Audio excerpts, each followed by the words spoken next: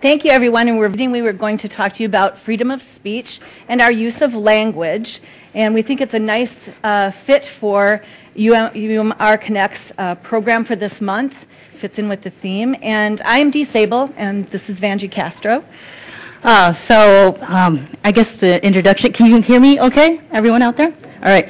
So in my intro- in the introduction, our, our person gave to us, um, my bachelor's is in political science, and I am completing my master's in public administration. So talking about the First Amendment actually uh, is near and dear to my heart. I did take a year of um, constitutional law, so it was always really interesting for me. So this topic, I think, is very timely for what's uh, been happening in, in, in society, in our community, and also since it's an election year. Um, so at the Diversity Council, we believe that everybody has their own personal experiences, and when they come um, to the table, they come with their own filters and their own beliefs, and we're not here to do to change that. We're here to um, help you understand how to better communicate with people who have different communication styles, who have different backgrounds, um, and also to challenge you to think uh, a little broader about the people that you interact with on a daily basis. So our objectives are to help you understand the impact of speech on your daily lives and the lives of those around us, and also to differentiate between the right to freedom of speech and the fact that our speech is not free from consequence. So we're going to talk first about the First Amendment. And this is the First Amendment. The Constitution and the amendments to the Constitution were designed to define the relationship between individuals and the government. And so they are set up to ensure that the government doesn't infringe on our rights. In the First Amendment, you can see here um, what is protected. So Congress shall make no law respecting the establishment of religion or prohibiting the free exercise thereof, or abridging the freedom of speech or of the press or the right of the people peaceably to assemble and to petition the government for a redress of grievance. We are going to focus on abridging the freedom of speech and of the press to some extent. When it comes to personal expression, we live free from government reprisal, and that is what the First Amendment provides us with, that we are free to speak or not to speak, and we'll talk a little bit about that, um, without reprisal from the government. So we wanted to create a little context of how the First Amendment functions currently, and, and that's different than it was at the time that the First Amendment was written. So there have been legal interpretations and judicial struggles that help us to define and understand the limitations of the First Amendment. So um, the first is, you know, the government doesn't have a, a, right to censor your speech, but they also don't have the right to force us to speak, and that is to utter an oath or a salute or those types of things. And that was actually a, a later legal interpretation that um, we have the right not to speak in this country if we choose. And there are still countries in the world where an oath or a pledge are required, or a salute or those types of things. In the 20s, Gitlow, which was the case that this is referring to, defined that um, it isn't just at the federal level that the um, First Amendment applies, but that it applies to states as well. And prior to that, uh, states often had uh, legislation and other things that limited free speech. So some required you to do certain things or required that you didn't do other things. But in the 25, in, in 1925, um, those laws were struck down by this Gitlow ruling, which extended equal protection under the law to the First Amendment. So of the things that we are, we are all, as citizens of the United States, um, receive equally, freedom of speech was interpreted to be one of those.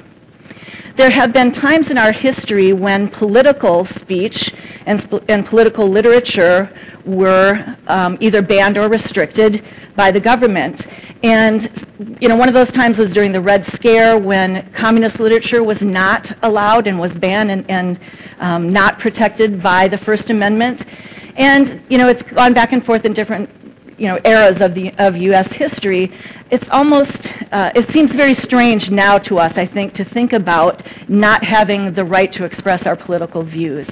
That's something we certainly have swung very far in the other direction on. And then there, there was also been legislation that defined what really is speech. And so burning of, of the U.S. flag was one thing that went all the way, you know, through the court system, and it was determined to be a symbolic act. And at that point, the First Amendment was expanded to include symbolic acts, symbolic speech, those types of things. And so there are different, you know, varieties of those, and some are protected and some are not. The burning of a draft card is not protected because it's a government document. The burning of a flag is protected because it's considered a symbolic act. The burning of a cross can go either way, and, and we'll talk about that a little bit later. But so these are some of the contextual points for how we think about the First Amendment, Amendment today.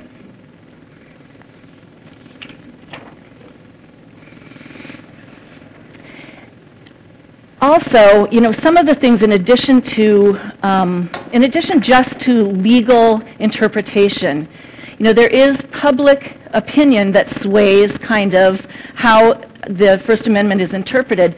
This is really difficult to see, but this is from a Pew, the Pew Trust, one of their, the Pew Research Center, one of their um, surveys that they did. And I think the main thing to take away from here is that by generation, people feel very differently about speech. So this is specifically about offensive statements about minorities and whether or not the government should play any role in curtailing that speech. So the greatest generation, 12% of the greatest generation says the government should play a role in that. Extremely low, coming from that sense that speech is ours and it doesn't need government regulation. At the same time, 80% of that generation thinks that people have the right to say whatever they want publicly. Yes. Age 70 to 87 is that generation. Thanks for asking that. Now I'm going to talk about millennials, and they are 18 to 34 year olds. 40% of that population bracket believes that the government should have some say in whether or not people, you know, what people say about um, in, in a racial context. That seems extremely high and very far away from the, the greatest generation's viewpoint. Now, some of that is just not really an understanding, we think. Hmm? We interpreted a little bit, talked a lot about this. We think part of that is just that generation not really understanding the role of government, perhaps, in the same way contextually that we do um, after our in, lives with it. Go ahead Did you think of the aspect of what it was like maybe 30, 40 years ago? Absolutely. Yeah. It's uh, honestly there's so much cultural and social context that goes into the viewpoints of these of these just different generations and I think you know that's part of how they define what the age brackets are for the different generations. What I mean is like say the younger generation 40 years ago did they have a low or or a higher thought of if the government should determine what they say? So, yeah, you can see in the middle, so Gen X and Boomers. So That, that's as they got older. that's right now, I mean, yeah. Forty years ago, Sure, and that's one of the things that we're extrapolating, because that data doesn't exist. But we are extrapolating that, you know, we're, we're Gen X, and if, when we were that age, we probably were like, oh, sure, why, why can't the government just tell us how to think or speak? And that would be just not understanding. And that's, again, that's just our interpretation. But you have to think about all of the context that goes into um, people's opinions and feelings about uh, Constitution and our rights and our civil interactions. But I think what you, you should think, of, what we should really look at and think about is that if 40% of millennials are, believe that um, the government should censor uh, offensive speech about minorities, then what is the next generation going to think or feel? Um, it's great to think about like 40 years ago and how did they feel when they were younger. if you do that, then you'd have the answer of what you're, right? Sure.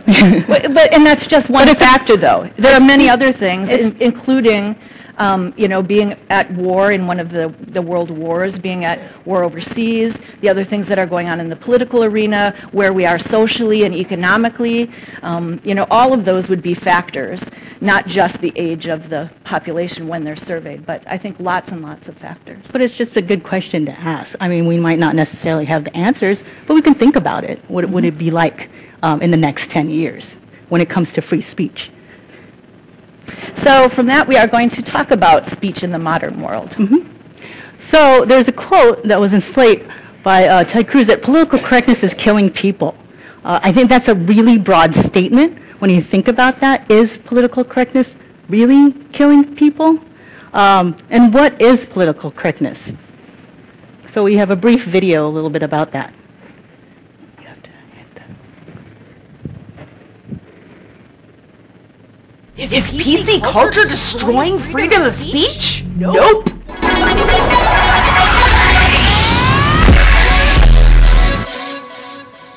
From, YouTube comments to presidential candidates, it seems a lot of people think freedom of speech is under attack. And who might I ask is to blame? The god PC culture. If you've ever called out racism, sexism, ableism, or any other oppressivism, you've probably been accused of being too PC. PC is, of course, short for politically correct. Political correctness is avoiding words or behaviors that exclude, marginalize, or insult groups of people who are socially disadvantaged or discriminated against. Basically, treating people with respect. Now, if you ask me, that doesn't sound like a bad thing. But a recent poll by Fairleigh Dickinson University found that 68% of Americans and 81% of Republicans agreed that a big problem this country has is being politically correct. Even 62% of Democrats polled agreed that being PC was getting out of hand. For these folks, political correctness is synonymous with weakness or being overly sensitive. Similar to the new term social justice warrior, calling someone PC is a way to derail and dismiss conversations about inequality. Okay, PC police, you're just offended by everything. The term PC is almost always used as an insult. Well, it's been around for a while. It gained popularity in the 80s when it caught on with conservatives, not liberals. So why is being PC used as an insult? And what, if anything, does it have to do with free speech? Here's the thing. It's not just about hurt feelings. It's about calling out oppressive power structures, and that's where the misunderstanding comes in. What's perceived as being too sensitive is usually someone speaking out against lazy, offensive language that doesn't usually get challenged. That's because the group of people that those words hurt historically haven't had the opportunities to have their voices heard. And the people who call that being too PC are often in privileged positions and don't want to or haven't had to think about what they're saying, or the consequences that come with it. You can't take away my freedom of speech just because you're offended. Well, yeah. In America, freedom of speech simply means the government cannot prohibit you from expressing yourself. It's why you criticize Obama without being thrown in jail. But on an interpersonal level, freedom of speech does not mean freedom from consequences. Technically, no subject on earth is off limits. You can say whatever you want. But in turn, people are allowed to respond however they want. The fact that you can comment means you're not being censored. If you tell a crappy sexist joke and someone says, hey, that was a crappy sexist joke, that's freedom of speech. And, if you post some racist bullshit on Facebook and your boss decides she doesn't want to employ people who spew racist bullshit on Facebook, you still have freedom of speech. And you're free to take that racist bullshit somewhere else. America. PC, culture, treating others with respect, social, justice warriors, whatever you call it, is, is prohibiting anyone's freedom of speech. It's, it's mainly about people standing up for themselves and asking to be spoken to and spoken about in a respectful way. In fact, political correctness is expanding free speech. We're adding words to the dictionary every year in an effort to promote more inclusive and respectful speech. Last year alone, the OED added microaggressions, mansplaining, and a whole host of gender terms like cisgender, agender, and gender fluid to the dictionary. That, seems, like giving more speech to more people, not less. So, have you ever been accused of being too PC, or maybe you've been thrown in jail for saying the N-word? How do you still have internet access? Tell us about it in the comments below, and we'll see you next week right here on Decoded. In our last vlog, Right. So, uh, how we communicate with each other has changed dramatically because of social networking, because of technology. So, um, what we consider free speech or censoring uh, may be different than what it was 20 or 40 years ago because of the internet, right? So you can post something on your Facebook or Twitter or whatever account, social networking account you have, and it go, can go all over the place. It, go, it can go to the other side of the world. Um, and we believe that uh, whatever we say doesn't affect or harm other people, but actually it does, depending on who it's geared to, right? So the idea of that what we say might not have any consequences actually is not true, right? We can say whatever you want, but we also have to be open to dealing with the consequences with the words that we speak. So, Is this the same one? Do you want to say any more about that? No. Do you want to say Yeah, I just wanted to add a couple of things. It isn't just that it's reaching farther, but it's going faster, and it can't, it can't be erased. So the things that end up out, out in cyberspace, the comments or the memes, which are those little pictures with the funny messages in them, any of those types of things, they're not going to just disappear.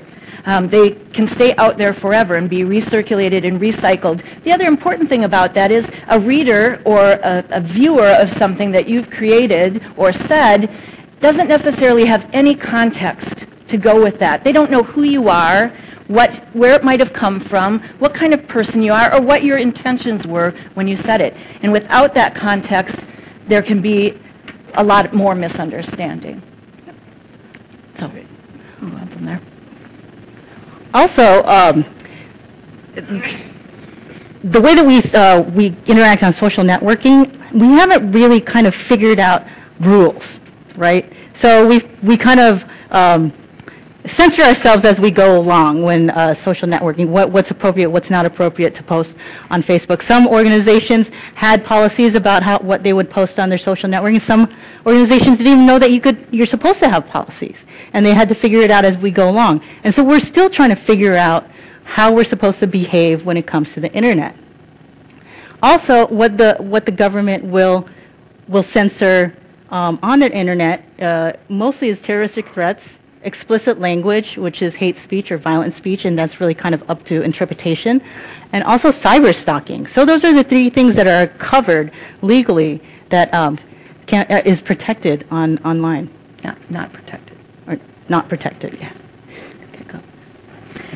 So I wanted to talk a little bit, we have been hearing a lot of things in the news about um, people's use of social media and how that affects their work.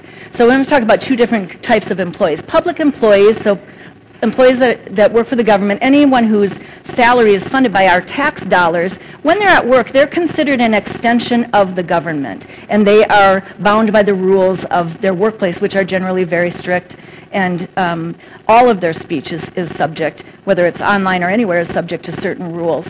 When they're off the job, then they're accountable to perhaps their role or their level of attainment or position in, in a company or it, within the government organization.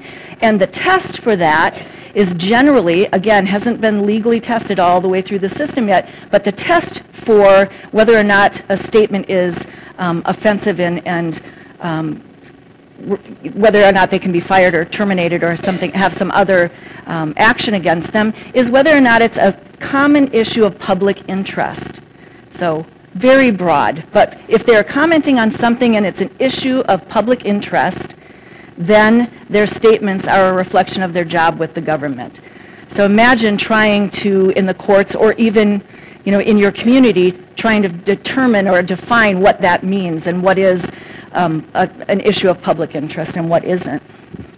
So we have a short video clip that kind of talks about a recent event locally or in, the, in Minnesota.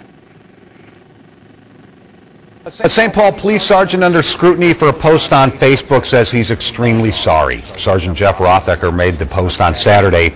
It said drivers should run over protesters at the Black Lives Matter protest who are taking part in a march on Martin Luther King Day. In a statement today, he said he understands the post was insensitive and wrong. He also said, in part, my poor choice of words conveyed a message I did not intend and I am not proud of. As a law enforcement officer, I would never intentionally encourage someone to commit a crime. I very much regret my actions. Yesterday, Sergeant Rothecker resigned from the Minnesota Fraternal Order of Police. He is on leave as St. Paul Police continue to investigate the matter. So the outcome of that case has not yet been determined. There is a third party investigating the remarks and seeing, um, you know, what type of repercussions there should be. Um, but he did uh, go out of the union. He left the union and is, you know, kind of waiting um, the outcome of what will happen with his position. So just one, uh, one example, he was not at work. He was in his private account when he made those remarks, but it still had a bearing on his position as a police officer serving and protecting the public. And that's kind of where that gray area is, but they're trying to define that now. So private employers, um, you know, Minnesota, like most states, is, a, is an uh, at-will state for employment, which means that the, uh, your employer has a lot of liberty, a lot of latitude with um, how they manage their employees and, and retain or not retain their employees, which means the consequences of this type of action. So again, you're in your private account Uh, on social media or some other type of media, and you make a statement, and the consequences of, of that fall to your employer, and it's at their discretion what to do. And when their consideration is determining the effect on their brand or image or mission based on your statements or reactions to your statements. We have an example of that.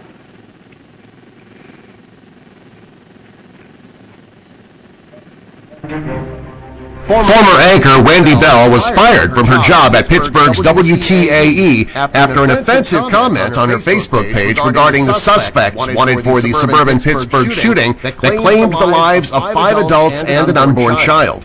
The Pittsburgh news anchor had been with WTAE for 18 years. She wrote, They are young black men, likely in their teens or in their early 20s. They have multiple siblings from multiple fathers and their mothers work multiple jobs. They know the police. They've been arrested. In announcing her firing, parent company Hearst Television said that the comments were inconsistent with the company's ethics and journalistic standards, and that it showed an egregious lack of judgment. She apologized for her hypothetical suspects and said her comments could be viewed as racist. Bell also said that she did not get a fair shake in the situation, and the story was about African Americans being killed by other African Americans. So here is a good example of context. So this is an Emmy, multiple Emmy award 21. winning. 21. She won 21 21 Emmys Emmys. in 18 years. 18 years on the job. Really an upstanding reporter. She made this mistake, this statement, which went out there outside of context. Again, context doesn't exist in this instance. Um, and it would be hard to explain away, but um, she wasn't even allowed the opportunity. And part of that is because of public outcry. So once this is out there and the public has the opportunity to react, again, because of the internet, much faster and much more broadly um, reacted than previously in our history, uh, the effects on the company or what was, the pressure brought to bear against the company made them make this decision. And they just decided that termination was the best alternative. And there have been many instances of this. There was, a couple of years ago, there was a short video clip that made it onto the internet. It was on YouTube and a couple of other places. It was a CEO of a Canadian company, and it was him standing in an elevator, so somebody had gotten the elevator tape, and he had a puppy in the elevator with him, and he kicked the puppy, brutally kicked the puppy. It went viral, which means it went all over the world. Within two weeks, there was so much pressure on this company that his board of directors fired him. Just like that. One act, one statement, one small thing. So you have to wonder, but you also have to know how important it is um, that we think about what we are saying and how we are interacting with one another. A social contract. So outside even though of all of the legal interpretation and the laws and other things, we are also bound together to one another through social norms, language norms, and a social contract. And a social contract is where we all agree that there's a set, an unspoken set of rules and, and ways that we will interact that we accept when we live together in a society. And those are fluid and they change, much like the laws do, um, but that social contract does exist.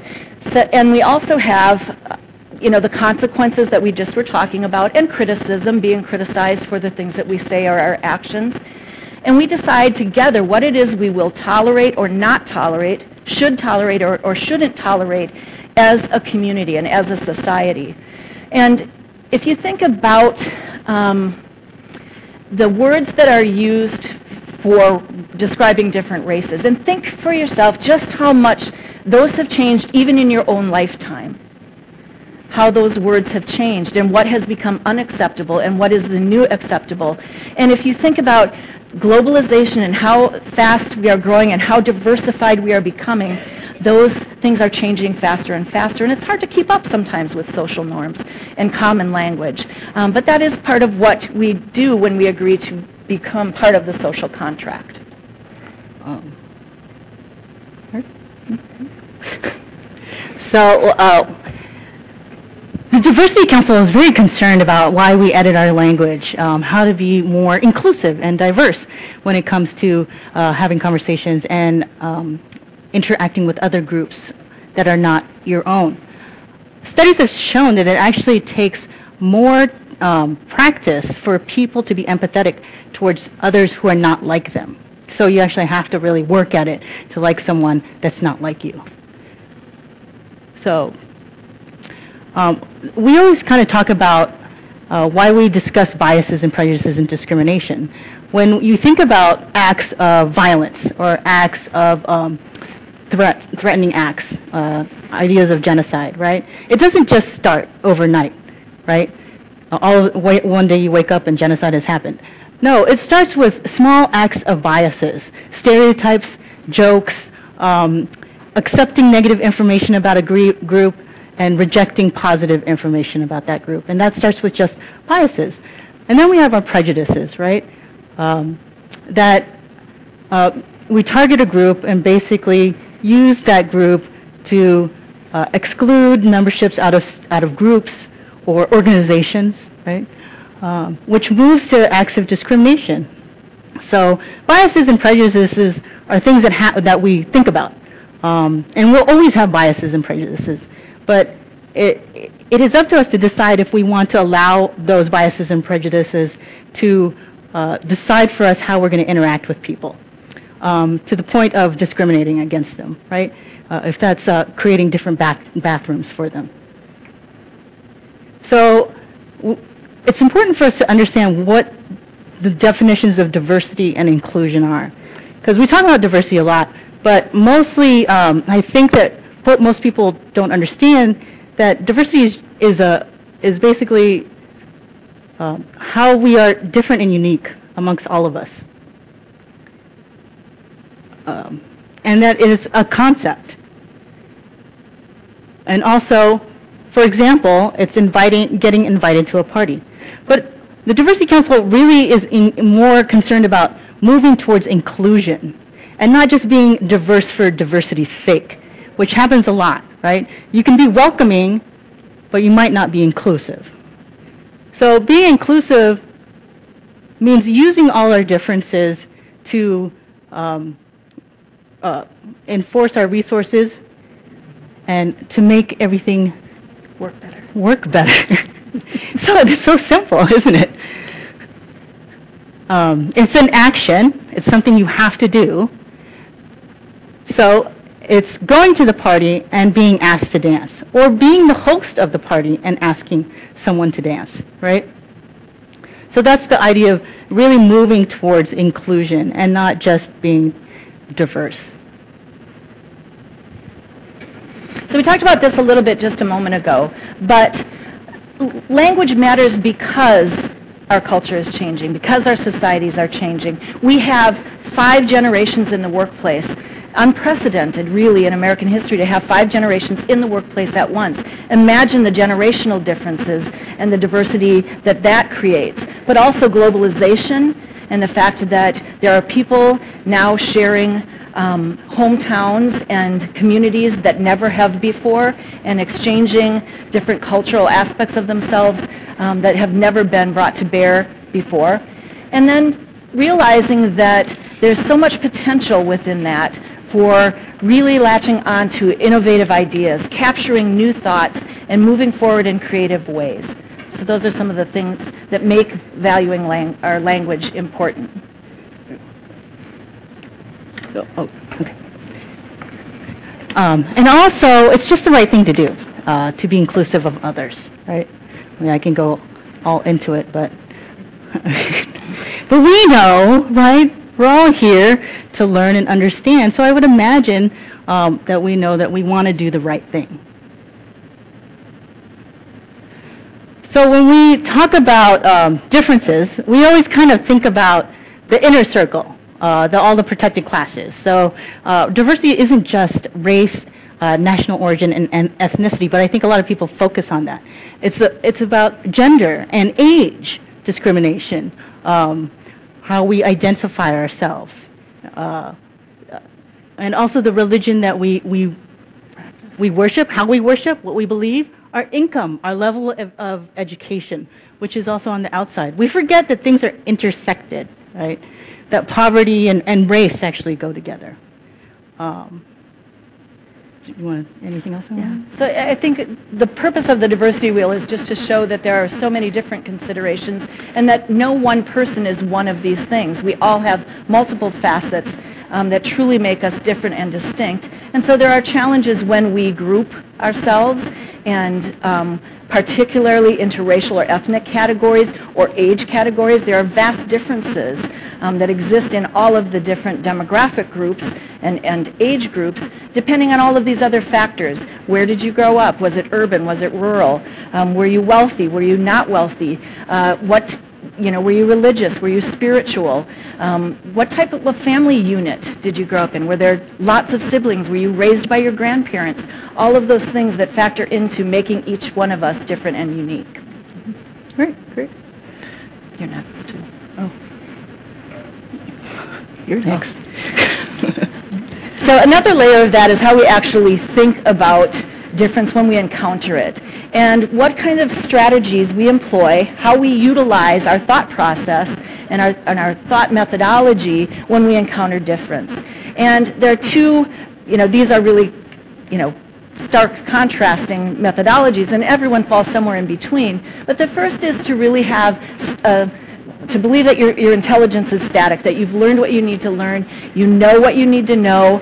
Um, when you encounter someone, you're uh, not likely to um, value their opinion as much as you might your own, or as much as you might value the opinion of someone who's closely um, related to you or is very like you. Um, that you might feel threatened by their difference, and you might uh, not want to engage that difference and stretch yourself and, to, and understand um, where, where the other person is coming from. The other is a growth mindset, and that is the belief that intelligence is fluid and that we can always grow, we can always adapt. The more that we do that, the more open we are, in fact, to growing and changing and improving uh, as we encounter difference and encounter one another. And the result of that um, is proven to be higher levels of achievement and that it gives a greater sense of free will when you are open to things you're, you feel more free to make your own determinations and create your own opinions. Oh, so this uh, this is used uh, mostly uh, in, educa- in education and academia. Has anybody heard of the mindsets? Of course, yes, the, ed- the educators. yeah. I teach it because when you're talking to students who are vulnerable and wounded Mhm. in second or third start at life in higher ed Mhm. or RCTC, Mhm. they often have a fixed mindset Mhm. and they tend to blame themselves and take it on as a personality trait as opposed to behavior. Mhm. We talk about student success behaviors, we talk about ways that they can take small steps, and then when they start to realize that it's, your brain's a muscle and you flex it, it gets stronger, you use it, it gets stronger, and that their intelligence is not fixed but fluid, and that really it's 99% perspiration and 1% inspiration. There's ways to work this with Mhm. classroom activities, and they start to see themselves progress, and then all of a sudden, they're not captive to the system anymore. They're agents of system. you Yeah, know? sure. Yeah, this, so they use, they're using this um, to help close the achievement gap um, in schools. Uh, not as many schools, I think, have gotten there yet because I, we, there, I think there's still um, educators that believe that if you, you're born smart, then you're smart, that you can't become smart. And I think that we all have the ability to stretch our minds and be able to be better than we, we were yesterday, right? Plus, as you pointed out, we, you know, once you're in the system, you tend to believe those things about yourself. I'm not smart. I'm not um, going to do well in math. I'm not going to, you know, you kind of internalize all of the things that you hear, um, and then you end up with the fixed mindset that I've, I'm, my growth potential is predetermined, and this is, you know, the path that I'm on just based on my mental capability. So when it comes to communication, people have this idea of, well, Bob tells these racist jokes, and but we're not going to say anything to Bob because that's just how Bob is, right? So we, I've already kind of put on Bob that he doesn't have the ability to change and grow, but I'm not even addressing it with him. I'm not talking to him about it. That maybe Bob does want to know that his joke is racist, or he doesn't know that, that maybe it's not funny, because I wouldn't want to go around and keep telling a funny joke and nobody's telling me that, right? So the idea of intent and impact. So communication goes really well when the intent and impact match, right? So, but communication doesn't work well when the intent and pa- impact don't match. And sometimes um, that happens when there's a misunderstanding, right? So your filters may be different uh, because of your skills and knowledge, your education, or your per- personal historic context. So people who are mar- marginalized might have different um, triggers when it comes to conversations with people. So you might hear that happen a lot, where somebody says, "Well, what you said was really offensive," and you wonder, like, "What? I didn't mean that. I didn't mean it to sound that way.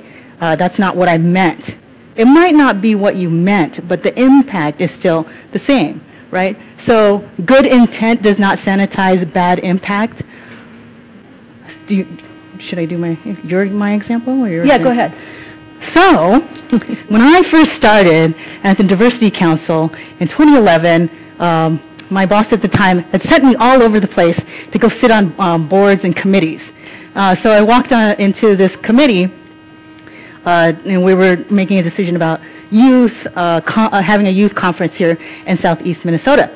And we were talking about themes. Uh, and I was sitting there and we were doing all this stuff. And then at the end of the meeting, the person that was convening it or hosting the meeting came up to me and said, Vanjie, you are so eloquent for whatever it may be, whatever you want to put in the blank there, right? For my age, for my ethnicity, Yeah, for what? for what, right? Um, I'm not that young. I'm actually in my 40s. Uh, so I was really kind of bothered by, I didn't really say anything to her uh, when she said that, but it was really kind of bothered by it. I, I wouldn't be in this position if I wasn't qualified, if I wasn't able to um, talk about my thoughts and ideas to other people, right? So So you left it without the so I left without uh, addressing it. And I will tell you, it's been five years and I have not worked with that person since then. so, so, So good you left it un- unmanaged. Yeah, so it was- I'm left it unmanaged, and that's on me, right? So I should have addressed it with the person, and I really actually did think about it. I was going to email her the next day and say something about it, but I didn't. I was new, so I wasn't really sure how I was going to be, um, how it was going to be taken, right? So we're going to talk a little bit about that, the responsibility about both people, uh, the giver and the receiver. So I have another example of that, and this is a situation where my husband was introducing me to two people, and he said they are from China. And so I met, they're both students, and so I went to meet these folks, and I shook hands with the, oh, and he had said about the gentleman, he doesn't speak very, you know, his English isn't very clear, so be conscious of that. So I shook hands and we said hello, and then I turned to the, the woman, Lynn, and we shook hands, and she said, oh, it's so very nice to meet you. And I said, your English is wonderful. And she said, well, I've lived in Texas since I was 10, so I would hope that I can speak English well. and I said, oh my goodness, I'm so glad you told me that. I didn't have that piece of information. You know, I apologize for misinterpreting. You know, tell me about Texas and what did you do? And so I opted to say something because she had opted to say something to me. She had said, she could have said, oh, thank you, or been offended, but instead she said, I've lived in, you know, the United States since I was 10. And that gave me the opportunity to say thank you to her. Thank you. I just was able to learn something and change my tone, and now we can build a relationship. Whereas at five years later, it might be hard to address Well, that. if I saw her, I'd probably say something. But um, so the feedback loop is really important uh, for us. We're not very good at taking uh, feedback or uh, criticism, right? Right. Even if it's constructive or positive uh, criticism. And the responsibility lays on both sides of the conversation. Both people have um, a responsibility or have the opportunity to change the outcome of a conversation. So Lynn was able to say something Yes. to Dee um, and fix that and rectify the situation. So now they're still friends. They're, they're able to have this relationship. Um, but if that didn't happen, if Lynn didn't speak up, then Lynn would have walked away thinking, oh, God, Dee's kind of, you know, insensitive or Yeah. whatever. So here's an, another example. Uh, it, Lynn, again, uh, she's at the staff lounge, and And Dee and I are talking about this country music uh, concert that we went to and how wonderful it was. And then, um, Noticing that Lynn's there, we say, oh, gosh, you know, it- because it was country music, we didn't think to invite you. Mm-hmm. And Lynn very calmly says, well, you know, I like lots of different kinds of music, and my race really doesn't have anything to do with it. To which we say, of course it doesn't.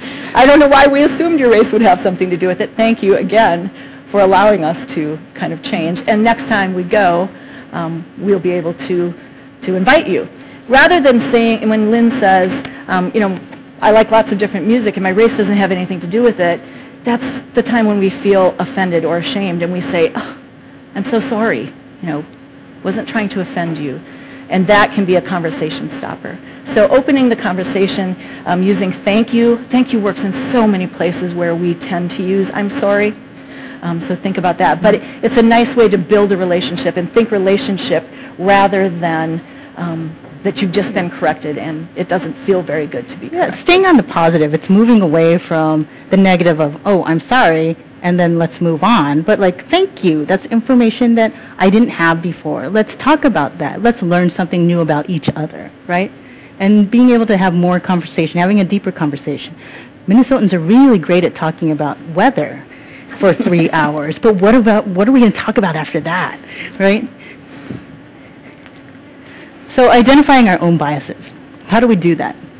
So some of the barriers of inclusion have a lot to do with our individual implicit biases, things that we that just kind of happen, right?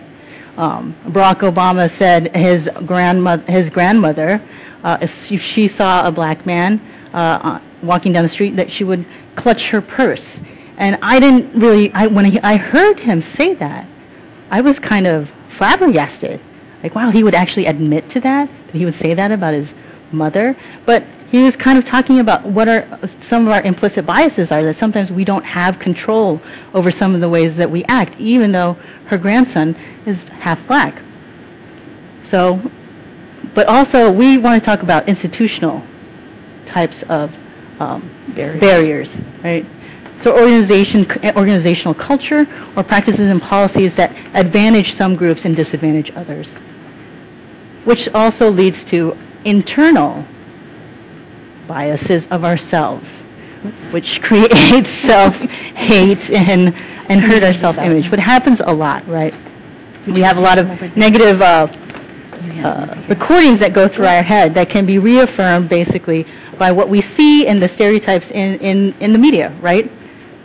Um, And we do tend to internalize things that we hear about ourselves, um, whether they're things that have to do with being female or male, or things that have to do with, you know, um, a couple of the most common ones that we think of are that boys are supposed to be tougher, they're not supposed to show emotion, um, girls are supposed, women, girls, females are supposed to be more uh, sensitive, it's okay for them to show emotion. We internalize these things, and they in turn affect our behavior and how we interact with one another. But all three of them work together uh, in concert for us to build those barriers of misunderstanding and lack of inclusion, right? And these are the things we want to be aware of when we're having conversations and when we're encountering difference and where we're reading, you know, stories in the media about um, conversations that are going on elsewhere or uh, things that are serious. And what are some of the things that play into those? And what, what lens are we looking at um, a situation through? Yeah, if we think of politics of like how divisive politics are, you know, so if you don't believe in the things that I, I, I don't believe in or I believe, then we can't talk, we can't have a conversation, and we're on these polar opposite sides. Uh, so we've kind of moved away from having civil uh, discourse towards just disagreeing with each other and not having conversations. When we really can, I think it's really important to hear the opposite side, the other side, so we can um, really have more information to make better decisions. So this was written, this was submitted to the Diversity Council by a woman who had this interaction and had written it out. And I'm going to read it, but you have it in front of you as well. A Southern white woman is an event coordinator working with an African American minister. They end up talking about a mutual acquaintance who is known to be persistent and driven. Without thinking, the woman writes, I uttered a phrase I grew up hearing. Yeah, he's a real slave driver. As soon as it was out of my mouth, I realized for the first time the source and meaning of the phrase. I was ashamed and bewildered and wanted to apologize. Before I, but before she can say anything, the minister, looking her in the eye, quickly replies, yes, he's a real taskmaster. She agrees and later thanks him for his kindness and subtle but important education. The result, in her words, I haven't used the term slave driver again. So sometimes it does take that context, um, and it does take um, a particular interchange to realize um, the impact of language that we use. Would it have had the same impact in another situation? Maybe not. But that doesn't mean it wasn't impacting um, people that she had used the word in front of before without her realizing um, that it was offensive. So we're wondering if anyone else in the room has had a similar situation or can think of an instance when they had to challenge their own use of language uh, because of the context or um, because someone pointed out to them, even in so subtle a way, um, that the term might be offensive. Anyone think of anything? Yes.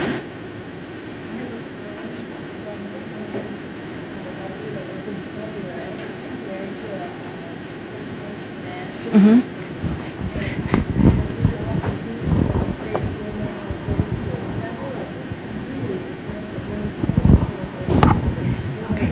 Right.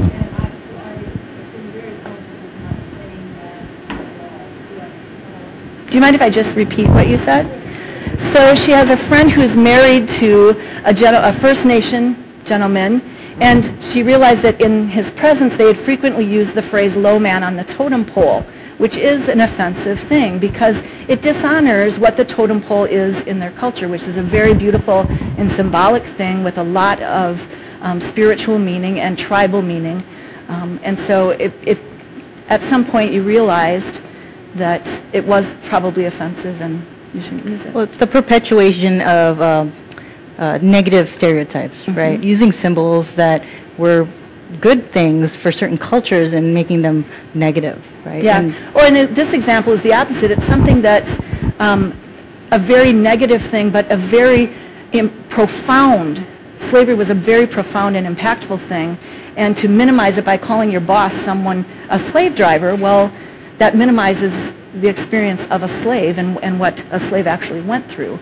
Um, to say, well, you know, she's just a slave driver. Really? So she deprives them of liberty and food and clothing and the rights to their own name and their own culture. So, um, but it can go either way. Anyone else have an example?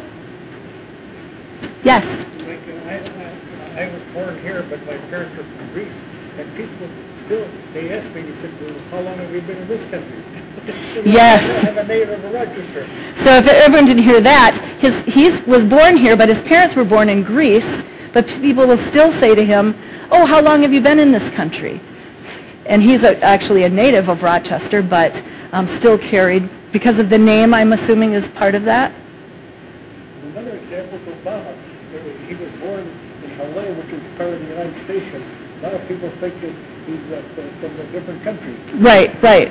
And sometimes we can be deliberately obtuse about things um, and deliberately hurtful. So knowing that a term that you might be using or a thought that you might be perpetuating, a bias that you might be perpetuating, knowing that that's hurtful um, is, is doubly bad. So, not, uh, it- so recognizing it but not correcting the behavior is doubly bad. Back then, make them feel it a little... Yes. Because that kind of thing stings. When you're on the receiving end, it can be, mm-hmm. it can be painful. Okay, so we're going to go on from there to microaggressions. Anyone heard of microaggressions previously? Yeah. Kind of a relatively new terminology, but Vanjie will explain it. Yes, it's uh, insidious things. Those uh, those day, those day to day, those small little in, uh, insults or, or comments that people make that kind of chip away at um, who you are as a person, right? If if it is uh, historically marginalized people who are thought of as criminals or thugs, right? Um, just because of the color of their skin. Uh, and how they're portrayed in the media when you think about it. So some people are uh, lone wolves versus thugs, right? And they're both committed the same crime, but may have different skin color. So um, there's three different types of microaggressions. One is a microassault, which is a blatant verbal, nonverbal, uh, or environmental attack intended to convey discriminatory and biased sentiment. An example is, where are you from? How long have you been in this country? So that's one of, one of them. The idea that you're foreign, that you're not from here, automatically stating like, you don't look like you're from Rochester, so you must be from somewhere else. Right? So the micro insult, unintentional behaviors or verbal comments that convey rudeness or insensitivity or demean a person's racial heritage, identity, gender identity, or sexuality. So this is kind of a, a an example from a, a, a training that we did with someone who's very tall. She's over six feet tall. And so typically that most women are not six feet tall, but her co-workers and what were telling her, why do you wear high heels? You're already tall enough. And so it really kind of bothered her. Uh, Because it implied that There's she shouldn't be able to wear high High heels heels. because she's tall. So the- here's these beautiful, fashionable high heels in her favorite color, but those should be off limits to her because she's tall. But the I- idea that she should come down to their level. That There's no way that she's going to be short. And she, so she can't do that. But don't, you don't, you dare wear high heels and be any taller than you are, right? So micro-invalidation, which is the next one, and this I think happens a lot. Um, the verbal comments or behaviors that exclude, negate, or dismiss the psychological thoughts, feelings, or experiential reality of a target group. So when somebody comes to you say, "Oh, I went to Hy-Vee and um, I went, I wanted to go get these cantaloupes that were on sale, and there there weren't any more cantaloupes, and I asked the person to go get them for me, and they were really rude." But some other woman came and asked for the cantaloupes, and he went and helped her right away. So I don't know why he didn't help me. Is it because I'm tall?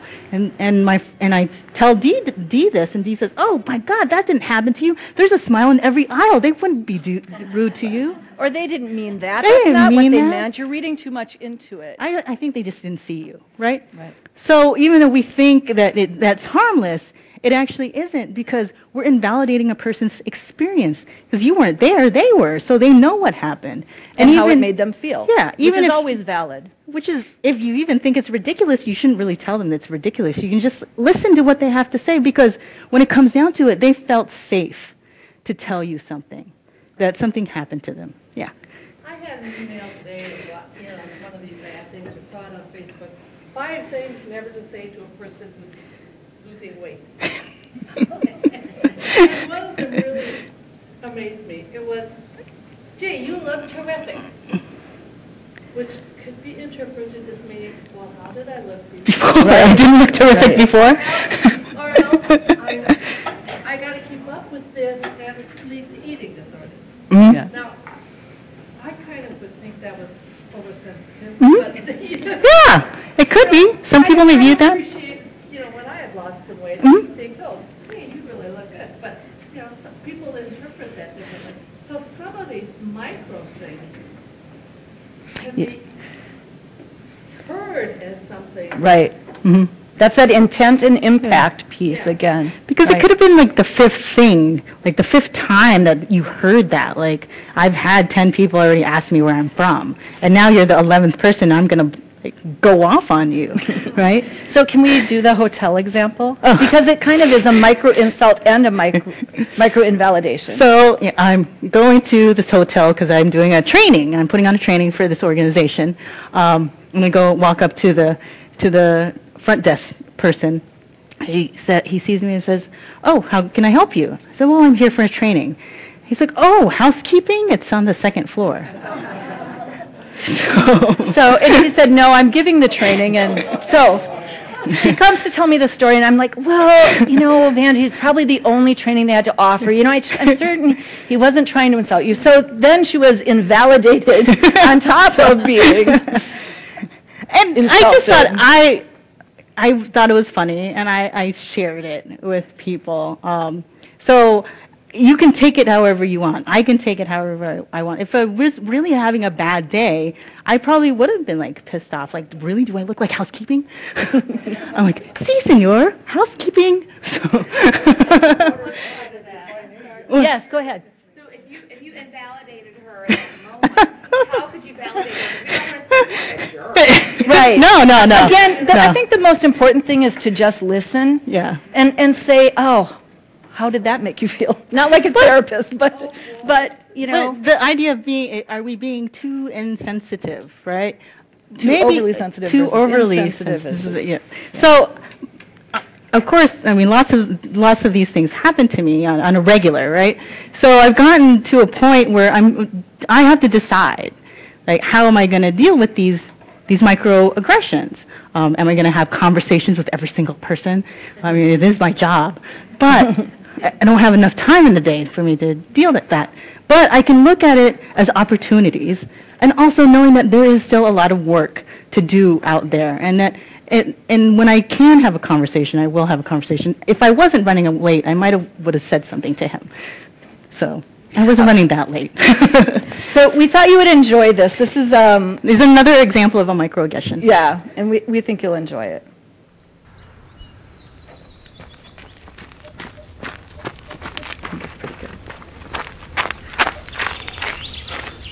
Hi there. Hi. Hi. Nice day, huh? Yeah. Yeah, finally, right? Where are you from? Your English is perfect. San Diego. We speak English there. Oh, uh, no. Uh, where are you from? Well, I was born in Orange County, but I never actually lived there. Uh, I mean, before that. Before I was born. Yeah, like, well, where are your people from?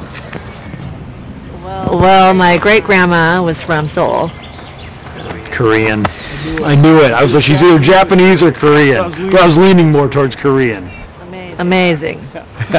I'm Shasina. There's a really good teriyaki barbecue place near my apartment. Actually, I actually really like kimchi. Cool. What about, what about you? Where are you from? San Francisco. But where are you from? Oh, I'm, I'm just American. Really? You're Native American? No. No, uh, just regular American. oh. Oh, well, uh, I guess my grandparents are from England. Oh, oh, well, well.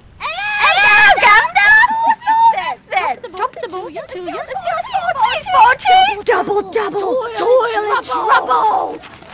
Mind the gap, bewitch, the ripple, day hell. Pip, pip, cheerio. I think your people's fish and chips are amazing. You're weird. Really? Really? Weird? I'm weird? Must be a Korean thing.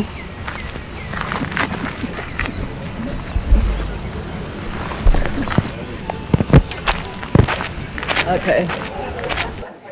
I think the intent and impact didn't match. Go to the next slide, will you? So, but by showing you this, we don't want to discourage you from being curious. We, we believe in our hearts that the first response to difference should be curiosity. We should wonder about one another, but we need to temper that curiosity with respect and be respectful. So kind of getting to the point of, um, you know, how do you manage the conversation?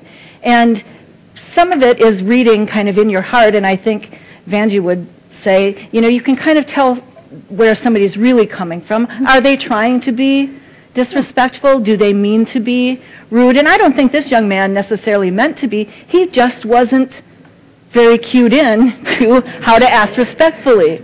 He was impolite about it. So when is as important as how? If you think about every interaction as a potential to build a relationship, then the first question you're going to ask someone is not, where are you from? Because that immediately implies you look different than me or you sound different than me or you can't be from where I'm from. But you should ask that question when, you, when it fits into the conversation. And then if the response is San Diego, then accept that as the response. Don't assume that there's something more. Or ask the question that you want to ask. And I know Vanjie and I have talked about this numerous times. If the question you, your, if your curiosity is about a person's ethnicity, then ask that question. But do it at the right point in the relationship. So again, not the first question out of your mouth, but once you've developed a rapport, then it's good to ask, where are you from? Which at that point means, tell me something about yourself. Tell me something about who you are and how you got to be where you are. So it's about relationship and dignity, and then asking with respect.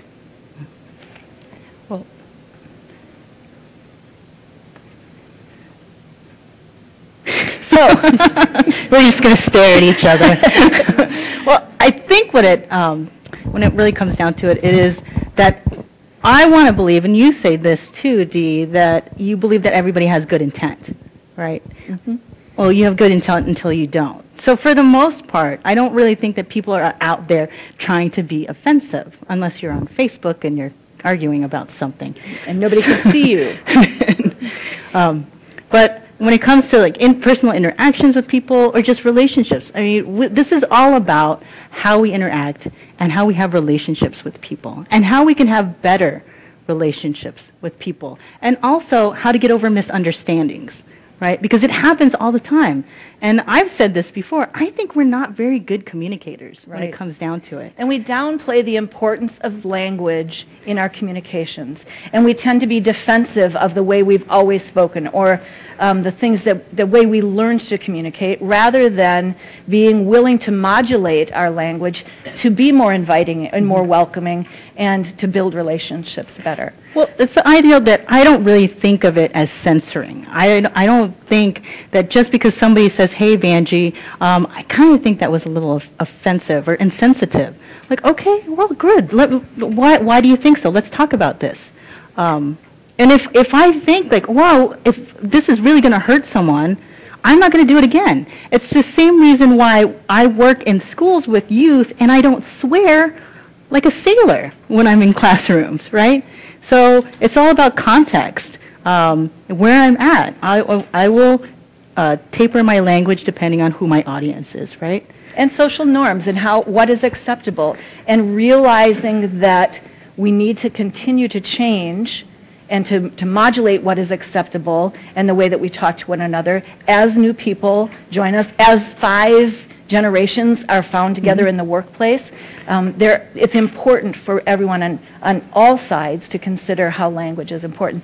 And it has very little to do with the first amendment which really is the relationship between government and the individual, and whether the government should have any role in filtering or censoring what we say. So when people say being PC is taking away my right to free speech, what they're really saying is, I'm not sure I understand how the Constitution works and what that has to do with how I interact respectfully with others. Also, I really don't want to have to deal with the consequences of what I've just said. So I'm going to use the Constitution Yeah. to protect what I just said. That may offend you. So Yeah. there's also that side to it, too. Anyone else have a personal experience they'd like to share with us? And we have a microphone, too, in the back. Yes. In the back. Well, you've certainly given us some new, more um, vocabulary words. You started out in the beginning by saying um, people tend to uh, speak uh, based upon the people they associate with.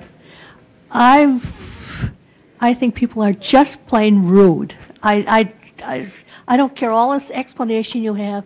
They're just rude. That they don't stop and think about the words that come out of their mouths. Now, this is an election year, and I would recommend when you see, meet somebody, say, are you registered to vote? If you're not registered to vote, I'd like to help you. I'd like to tell you where you can go to vote. I'd like to tell you what days you can reg, uh, vote absentee ballot, et cetera, et cetera, et cetera. If that, if you think that's being rude, okay, it's being rude, but that's what I would do. You're right, and, and voting is, of course, one of the best ways we have to exercise our voice. And as long as you're not coupling that with a conversation of who to vote for, then, then that's a very viable conversation to have. Absolutely. I believe I heard something about swearing like a sailor, and as a sailor, Exactly. Uh, oh, I was waiting. I was waiting to hear somebody was going to say that. See? Generalization, we shouldn't have said Do, that, sa- yes. do sailors swear a lot since you are a sailor? Not all of them, right? Not all. No. Oh. And right there? I like Oh, yeah. your story about the hotel thought, and my thought is, it seems like that person was probably just trying to be nice or in a hurry. And my my thought is, we're in too much of a hurry. And he didn't give it enough thought on maybe what you were really asking for. Mm-hmm. For example, when you pull up to a stop sign, how long do you really stop? You're too busy to stop. You go. Or if- when you go from reverse to, to drive, do you really let it sit and adjust, or you just slam it and go? Mm-hmm. Our life is full of those types of things where you'll meet somebody and you're not really analyzing what they're doing or why they're there, and you just quickly say something. Right. I think you just quickly said something. You're right. But then, like you said about rudeness, i- i- is there a sense that we should be taking the time and thinking first? Yeah. We had an experience just last night, Ginny and I, this is Ginny, my daughter-in-law in the front. We were at a store and there was a young man on the register and he, the first words out of his mouth when he finally looked at us were, I, I'm at the end of my rope. I'm, I've had it. And we said, has it been a long shift? Yes, I've been here too long. The, the group of customers in front of us um, were speaking a different language. And the next thing he said to us was, I can't hear through the gibberish, which was shocking to hear him say, and, and not, I think, what he meant. Um, but he, you know, first of all, being young and probably not thinking about the impact that that would have on someone else, um, but also the context of being in a rush, trying to get off the register and being just worn out. Um, that's what came out of his mouth. I think when we take shortcuts, um, we become rude. Because then we, our own self-importance comes into play, right? I'm too busy, I don't have time, I just need to address this right now.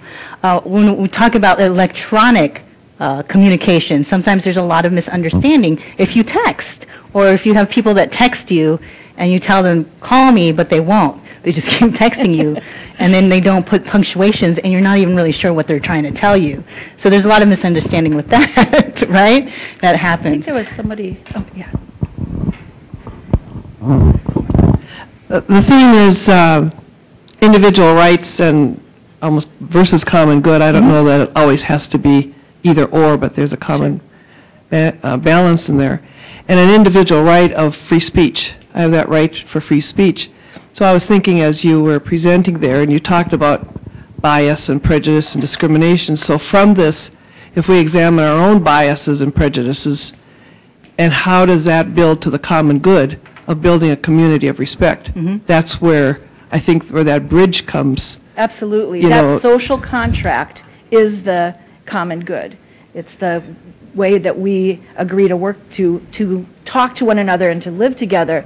And, you know, the, the slippery slope that you don't start at genocide, it really does start with allowing types of speech that we might not have before, and, and then that enters the mainstream. So if you think about um, the illegal immigrant or the undocumented persons um, issue and where that has been, that moved from total respect to hosts on evening news shows using racial slurs or derogatory comments about that population. How did we allow it to get to that point?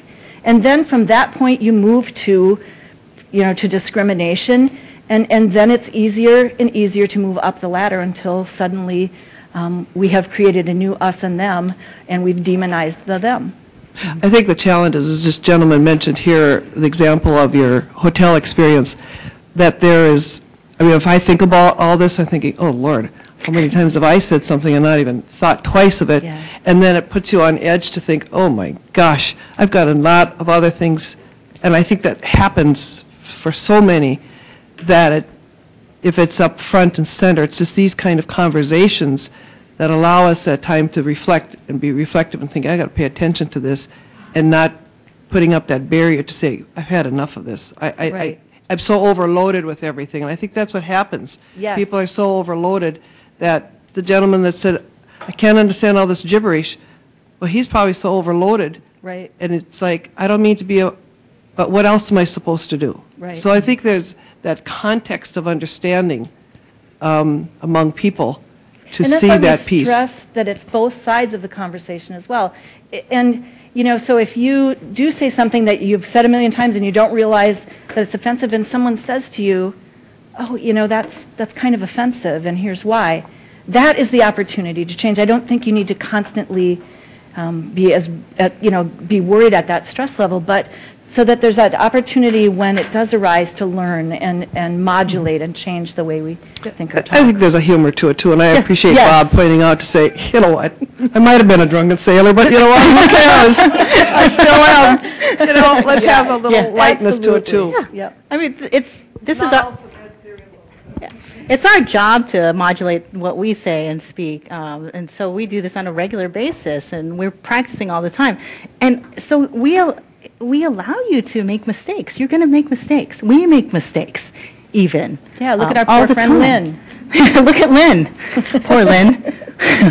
so, uh, that you can make mistakes and it's okay and that we can move forward. And that's what we're hoping can happen because sometimes conversations just end and, and misunderstandings continue to perpetuate. So I'm hoping that maybe we can make those mistakes and move forward and talk about it. Um, I, first of all, I'll just, Wait, hold I'll, on, I'll just make a comment. He didn't say drunken sailor, he said s- swearing like a sailor. No, you added a whole new a- area. He's a drunken, drunken swearing sailor. So, um, yeah. Well, so my question is, when you're talking about the lowest level and sort of the tiny comments that, or comments in the crowd, how, how do you sort of name them? I feel obligated sometimes to use my white privilege for good and not evil. And so it's like, and, and sometimes I'm the person who calls it out and I'll say, boy, you know, that was really insensitive to all the women in the room, both of Right. us. you know, you know, and so, so I just, if there's a, a lovely way, like instead of saying I'm sorry, saying thank you, if you could speak to that, I would really appreciate that. I do agree that humor is, is frequently, you know, a good way to do it. Um, and I would rarely say do it in front of a group of people, um, because again, it's relationship building. So, you know, if you're offended by, let's say, a joke at a party, and you say to the person later, wow, you know, I'm not sure you should use that in mixed company, and you probably shouldn't use it at all, which is kind of the humor part. Um, and here's why. It's offensive, and, you know, it kind of shows that you're a little bit insensitive to, to where women are. Um, I think humor is very powerful, but I, and I, but I do think just directly, just saying, hey, that's, that was a little strange. Whether or not you were the person that, you know, I know there's a gentleman up here, too. Was it right here? You talked about implicit bias, and I view that as being very difficult for each of us individually to understand what our implicit biases are. So my question is, are there any techniques or tools available to us to help us identify our own implicit biases? Yeah, there's actually a test that you can take. It's on the Harvard website. Yeah. Um, And we can uh, send it and have it sent out to you. Are you, are you all on, Are they on a, yeah. on the email? And Um, it's used by organizations and individuals, and it really does give you a picture of your own biases. Check, check your implicit biases. But wait, wait, we have over here. Yeah. Wait, Do you? Oh. I was at a workshop a number of years ago, uh, presented by a wonderful woman from another country, different ethnicity, and she related how she would receive very negative comments. And so finally she started saying, may I tell you why I find that statement hurtful?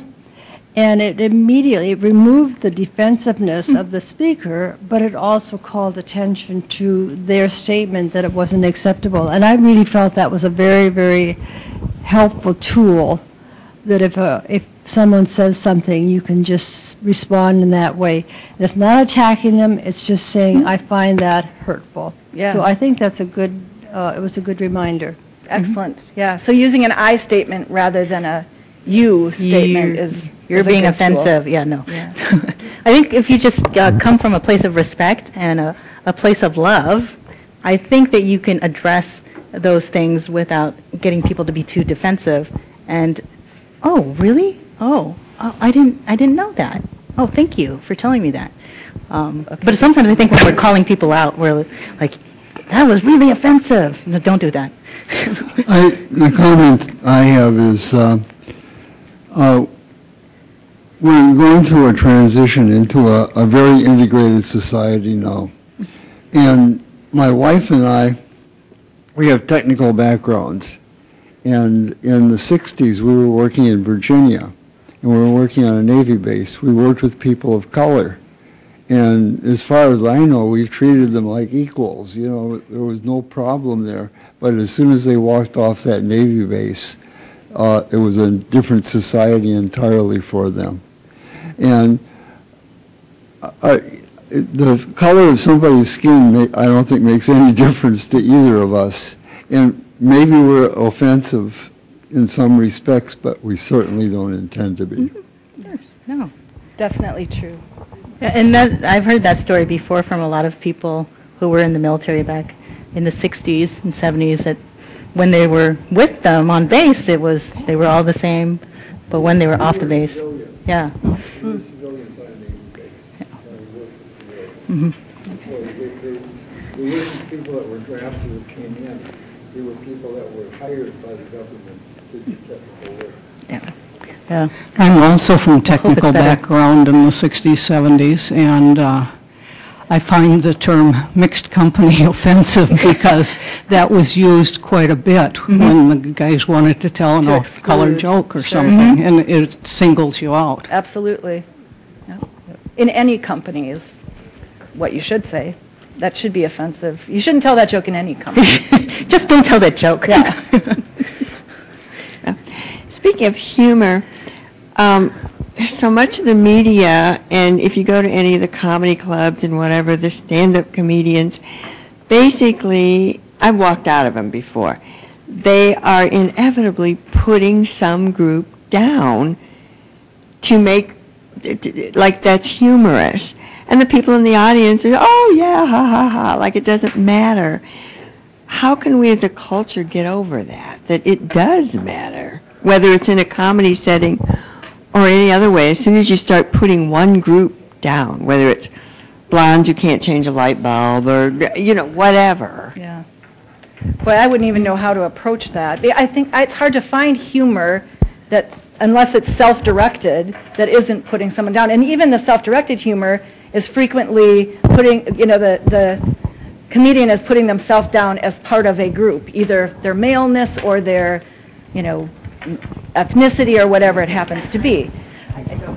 Well, I just think that's lazy comedy, because I think you can have lots of good comedy without having to um, insult a group of people, but it happens more often than not when you kind of go to like those amateur comedy clubs.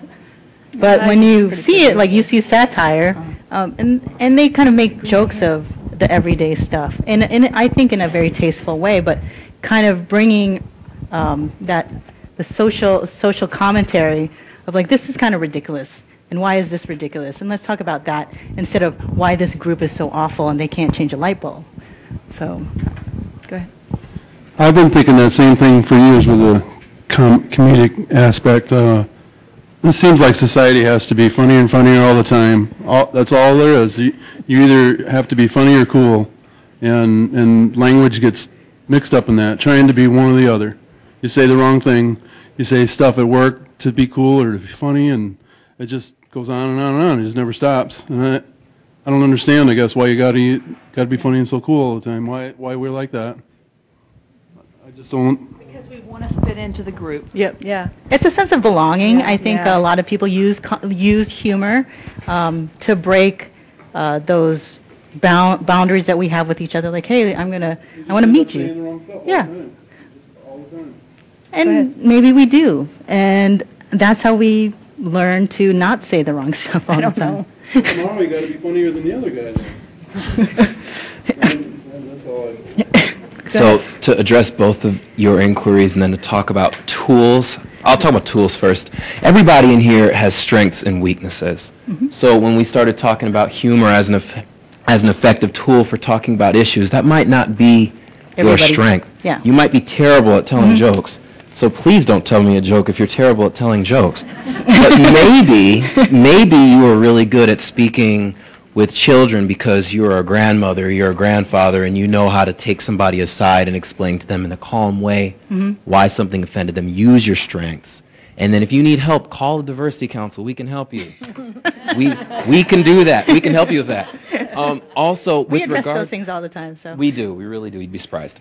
Um, with regard to the comedy, um, two comics stand out in my brain when we think about insult insulting a specific group. The first one was the bad one that we're talking about now. I don't know if you've ever heard of Carlos Mencia, um, but he has a very um, a very abrasive style that's very exclusion. It, it excludes people with disabilities, um, people of different races, but that's his style, and it is lazy comedy. Mm-hmm. But then you have people like Richard Pryor, who he would talk about race issues because it was the only way he was able to communicate to people that were not from his race about what he was going through. And if he would have spoke about it in a serious way, nobody would have been able to stomach it or to listen to it. So sometimes it's like Mary Poppins, right? A spoonful of sugar helps the medicine go down. Once again, it's all about how you use your tools. So whatever you're good at, use your tools, and you'll be okay. Err on the side of caution and make sure you listen more than you speak. I think listening is really important, yes. And take a, take a second, like what you said about that we don't, we don't take the time, we're so busy, we move, we move too quickly. That, let's just take that extra second to pay attention to what's happening around us, or, or that person that we're having a conversation with. I think that we don't appreciate the time that we have with each other and have the, and the conversations that we're having with, with each other. I think it's really wonderful for me to be here with all of you. I'm very honored to be here with all of you because I do, I value and respect every single one of you and that the fact that you even came to listen to us tonight.